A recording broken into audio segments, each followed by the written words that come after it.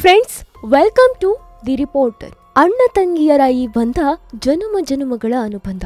ಅಂತಹ ಬಂಧನದ ಮಹತ್ವವನ್ನ ಹೆಚ್ಚಿಸೋದೇ ಈ ರಕ್ಷಾ ಬಂಧನ ಇದು ನಮ್ಮೆಲ್ಲರಿಗೂ ಗೊತ್ತಿರೋ ವಿಚಾರ. ಆದ್ರೆ ಈ ರಕ್ಷಾ ಬಂಧನದ ಬಗ್ಗೆ ಸಾಕಷ್ಟು ವಿಚಾರಗಳು ಹೆಚ್ಚು ಜನಪ್ರಿಯತೆಯನ್ನ ಹೊಂದಿಲ್ಲ. ಹಾಗಾದ್ರೆ ಏನಿದು ರಕ್ಷಾ ಬಂಧನದ ಮಹತ್ವ? ಈ ಸಂಭ್ರಮ ಸಡಗರದ ಬಗ್ಗೆ ಒಂದಷ್ಟು ಕುತೂಹಲಕರ ಮಾಹಿತಿಯನ್ನ ನೋಡಿ ಬರೋಣ ಬನ್ನಿ.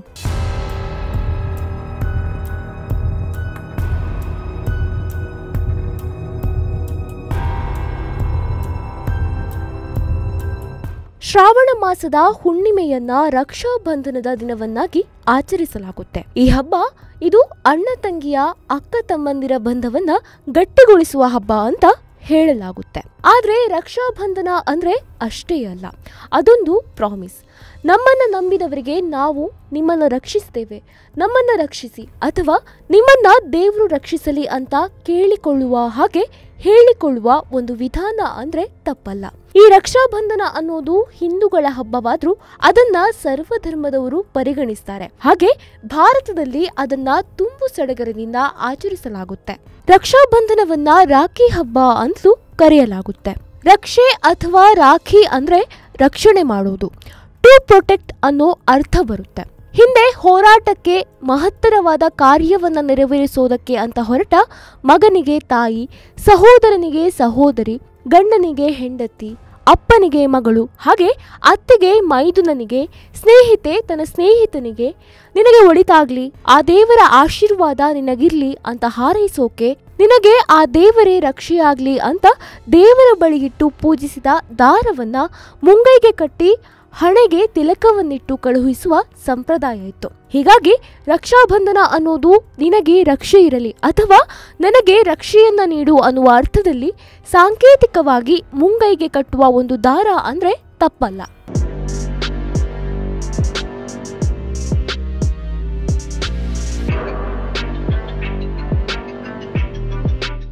ಸ್ನೇಹಿತರೆ, ರಕ್ಷಾಬಂಧನದ ಕುರಿತಾದ ಪುರಾಣದ ಕಥೆಗಳನ್ನ ನೋಡೋದಾದ್ರೆ ಇಂದ್ರನ ಅಮರಾವತಿಯ ಮೇಲೆ ರಾಕ್ಷಸನೊಬ್ಬ ದಾಳಿ ಮಾಡ್ತಾನೆ. ಆಗ ಇಂದ್ರನ ಪತ್ನಿ ಶಚಿದೇವಿ ಮಹಾವಿಷ್ಣುವಿನ ಮೊರೆ ಹೋಗ್ತಾಳೆ.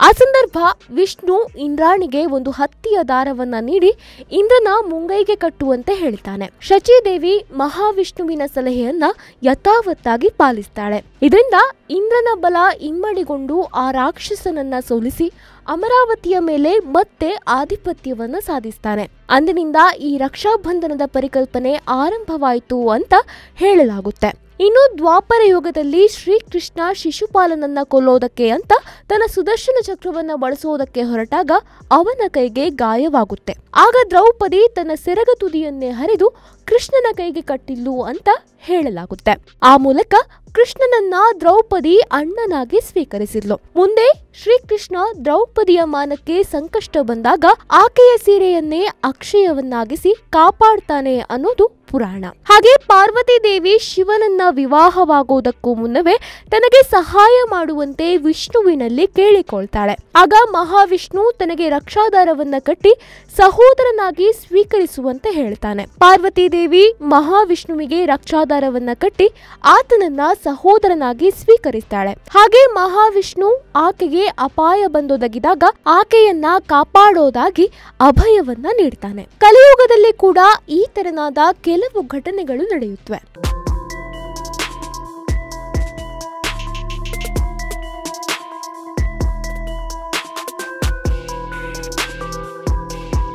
ಸ್ನೇಹಿತರೆ ಪ್ರಾಚೀನ ಭಾರತದ ಇತಿಹಾಸವನ್ನ ತೆರೆದು ನೋಡಿದಾಗ ನಮಗೆ ಗ್ರೀಕ್ನ ಮಹತ್ವಾಕಾಂಕ್ಷಿ ದೊರೆ ಅಲೆಕ್ಸಾಂಡರ್ ಭಾರತದ ಮೇಲೆ ದಾಳಿ ಮಾಡಿದ್ದು, ಸಿಂಧೂ ನದಿ ತೀರದಲ್ಲಿ ಪೋರಸ್ ಅನ್ನೋ ಭಾರತದ ರಾಜನ ಕೈಯಲ್ಲಿ ಸೋತು ಹಿಂದಿರುಗಿದ ವಿಷಯ ನಮಗೆಲ್ಲ ಗೊತ್ತೇ ಇದೆ. ಇಲ್ಲಿ ಅಲೆಕ್ಸಾಂಡರ್ ಪೋರಸ್ಸಿನ ಕೈಯಲ್ಲಿ ಸಾಯದೆ ಮರಳದು ಕಾರಣ ಅಲೆಕ್ಸಾಂಡರ್ನ ಪತ್ನಿ ರೋಕ್ಸಾನ್ ಅನ್ನುತ್ತೆ ಕೆಲವು ಜಾನಪದ ಕಥೆಗಳು ಆಕೆ ಪೋರಸ್ಗೆ ಒಂದು ಪವಿತ್ರ ದಾರವನ್ನ ಕಳುಹಿಸಿ ತನ್ನ ಗಂಡನನ್ನ ಉಳಿಸು ಅಂತ ಕೇಳಿಕೊಳ್ತಾಳೆ ಆಕೆಯನ್ನ ಸಹೋದರಿಯನ್ನಾಗಿ ಸ್ವೀಕರಿಸಿದ ಪೋರೆಸ್ ಅಲೆಕ್ಸಾಂಡರ್ಗೆ ಜೀವದಾನ ಮಾಡಿ ಕಳುಹಿಸ್ತಾನೆ ಅಂತ ಹೇಳಲಾಗುತ್ತೆ. ಇನ್ನು ಮೊಘಲರ ಕಾಲದಲ್ಲಿ ಕೂಡ ಇಂತಹದ್ದೇ ಒಂದು ಘಟನೆ ನಡೆದಿತ್ತು. ಚಿತ್ತೂರಿನ ರಾಜ ಮಹಾರಾಣ ಸಂಗನ ರಾಣಿ ಕರ್ಣಾವತಿ ಬಗ್ಗೆ ನೀವೆಲ್ಲ ಕೇಳಿರ್ತೀರ? ಆಕೆಯ ಪತಿಯ ಮರಣ ನಂತರ ಚಕ್ರವರ್ತಿ ಬಹದ್ದೂರ್ ಶಾ ಚಿತ್ತೂರಿನ ಮೇಲೆ ದಂಡಯಾತ್ರೆಯನ್ನ ಕೈಗೊಳ್ತಾನೆ. ಆಗ ರಾಣಿ ಕರ್ಣಾವತಿ ಮೊಘಲ್ ದೊರೆಯಾಗಿದ್ದ ಹುಮಾಯೂನ್ಗೆ ರಾಖಿಯನ್ನ ಕಳುಹಿಸಿ ಸಹಾಯವನ್ನ ಕೇಳ್ತಾಳೆ. ಆಕೆಯ ಮನವಿಯನ್ನ ಮನ್ನಿಸಿ ಆಕೆಯನ್ನ ಸಹೋದರಿಯನ್ನಾಗಿ ಸ್ವೀಕರಿಸಿದ ಹುಮಾಯೂನ್ ಚಿತ್ತೂರಿನ ರಕ್ಷಣೆಗಾಗಿ ಒಂದು ಸೇನೆಯನ್ನ ಕಳುಹಿಸಿಕೊಡ್ತಾನೆ. ಆದ್ರೆ ಅಲ್ಲಿ ಅದಾಗ್ಲೇ ಅನಾಹುತ ಸಂಭವಿಸಿತ್ತು. ರಾಣಿ ಕರ್ಣಾವತಿ ತನ್ನ ಬಳಗದೊಂದಿಗೆ ಜೋಹರ್ಗೆ ಶರಣಾಗಿದ್ಲು. ಇನ್ನು ಬಹದ್ದೂರ್ ಶಾ ಚಿತ್ತೂರನ್ನ ಆಕ್ರಮಿಸಿಕೊಂಡಿದ್ದ.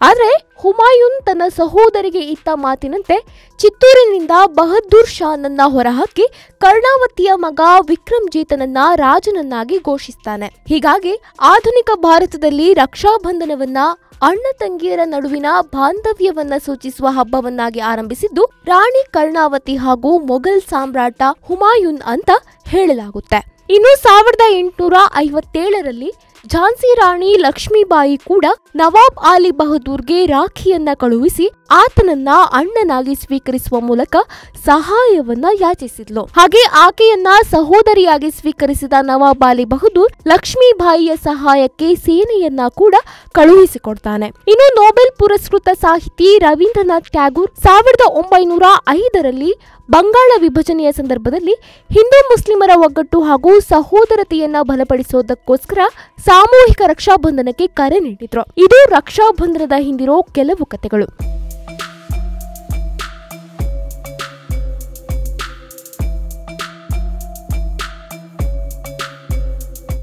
ಭಾರತದ ಜೊತೆಗೆ ನೇಪಾಳದ ವಿವಿಧ ಭಾಗಗಳಲ್ಲಿ ಕೂಡ ಈ ರಕ್ಷಾ ಬಂಧನವನ್ನ ಆಚರಿಸಲಾಗುತ್ತೆ. ಶ್ರಾವಣ ಮಾಸದ ಪೌರ್ಣಮಿ ಎಂದು ಬರೋ ಈ ಹಬ್ಬವನ್ನ ಪಶ್ಚಿಮ ಭಾರತದಲ್ಲಿ ನಾರಿಯಲ್ ಪೂರ್ಣಿಮಾ ಕರ್ನಾಟಕದ ಕೆಲವು ಭಾಗಗಳಲ್ಲಿ ನೂಲ ಹುಣ್ಣಿಮೆ ಅಂತಲೂ ಕರೆಯಲಾಗುತ್ತೆ. ಹಾಗೆ ಉತ್ತರ ಭಾರತದಲ್ಲಿ ಇದನ್ನ ಕಜರಿ ಪೂರ್ಣಿಮೆ ಅಂತ ಕರೀತಾರೆ. ಇನ್ನು ಈ ದಿನ ಕೆಲವು ಭಾಗಗಳಲ್ಲಿ ವರುಣನಿಗೆ ಪೂಜೆಯನ್ನ ಸಲ್ಲಿಸಲಾಗುತ್ತೆ. ಪಶ್ಚಿಮ ಬಂಗಾಳದಲ್ಲಿ ರಾಧಾಕೃಷ್ಣರ ಪೂಜೆ ವಿಜೃಂಭಣೆಯಿಂದ ನಡೆಯುತ್ತೆ. ಇನ್ನು ಹರಿಯಾಣದಲ್ಲಿ ಸೆಲೋನು ಅನ್ನೋ ಹೆಸರಲ್ಲಿ ಸೆಲೆಬ್ರೇಟ್ ಮಾಡ್ತಾರೆ. ಜಮ್ಮು ಕಾಶ್ಮೀರ ಭಾಗಗಳಲ್ಲಿ ಗಾಳಿಪಟಗಳನ್ನ ಹಾರಿಸಿ ಸಂಭ್ರಮಿಸಲಾಗುತ್ತೆ. ನೇಪಾಳದಲ್ಲಿ ಇದನ್ನ ಜನನಿ ಪೂರ್ಣಿಮಾ ಅಂತ ಕರೀತಾರೆ. ಅಲ್ಲಿ ಮುಂಗೈಗೆ ರಕ್ಷಾಧಾರವನ್ನ ಕಟ್ಟೋದ್ರಿಂದ ದುಷ್ಟಶಕ್ತಿಗಳಿಂದ ಮುಕ್ತಿ ದೊರೆಯುತ್ತೆ ಅನ್ನೋ ನಂಬಿಕೆ ಕೂಡ ಇದೆ. ಇನ್ನು ಇದು ಅತ್ಯಂತ ಶುಭ ದಿನ. ಸ್ನೇಹಿತರೆ, ಇವಿಷ್ಟು ರಕ್ಷಾಬಂಧನದ ಹಿನ್ನೆಲೆ ಕುರಿತಾದ ಕೆಲವು ಮಾಹಿತಿ. ಮುಂದಿನ ಸಂಚಿಕೆಯಲ್ಲಿ ಮತ್ತೊಂದು ವಿಶೇಷ ಮಾಹಿತಿ ಜೊತೆ ಮತ್ತೆ ಭೇಟಿಯಾಗೋಣ.